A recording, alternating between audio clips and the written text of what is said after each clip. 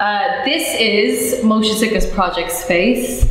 Uh, we are at the Lion Yard, 15 Petty Cury. We're a new artist head space in Cambridge.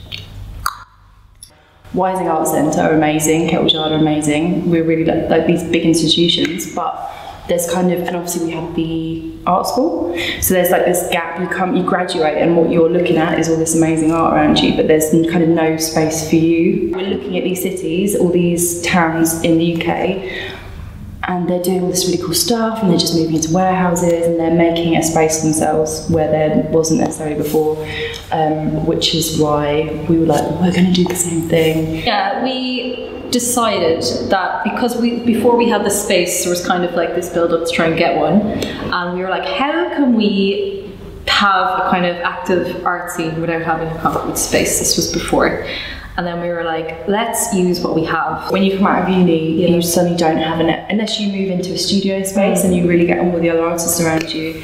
That is what is missing in Cambridge is that continued like peer support.